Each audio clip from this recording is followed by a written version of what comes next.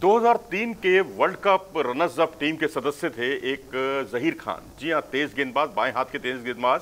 आपको याद होगा, बहुत ही कहर बरपाते थे अपनी गेंदबाजी से। लंबे समय तक उन्होंने भारतीय टीम की सेवा की।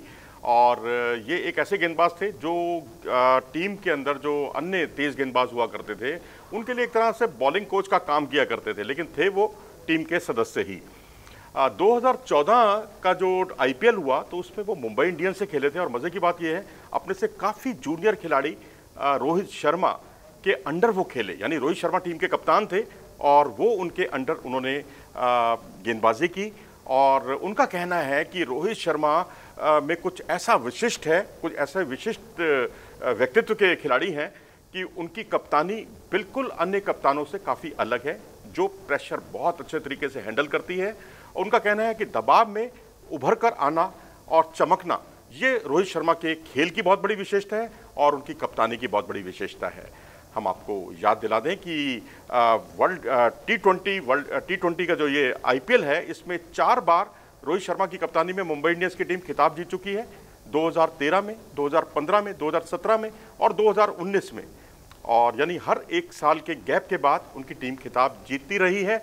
और जब कभी विराट कोहली के अनुपस्थित रहने पर या उनके रेस्ट करने पर आ, उनको टीम की भारतीय टीम की कमान मिली चाहे वो वनडे हो चाहे टी ट्वेंटी हो उसमें उन्होंने अपनी मौजूदगी का एहसास कराया। ना सिर्फ़ एहसास कराया बल्कि टीम को जिताने में बहुत बड़ी उनकी भूमिका रही।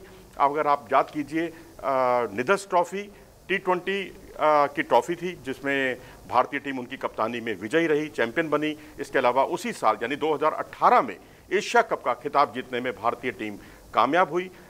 10 वनडे इंटरनेशनल मैचों में उनको कुल मिलाकर कप्तानी का अवसर मिला। 10 में से आठ मुकाबलों में भारतीय टीम विजयी रही, और तो और 20 टी ट्वेंटी मुकाबलों में उन्हें टीम की कप्तानी मिली, भारतीय टीम की।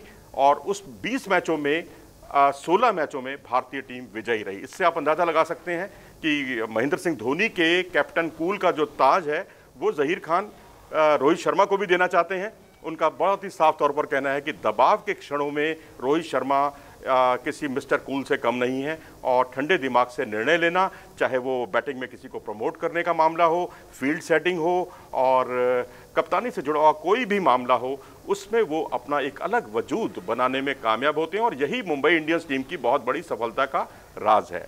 आप क्या सोचते हैं इस बारे में? अपनी राय से हमें अवगत ज़रूर कराएँ।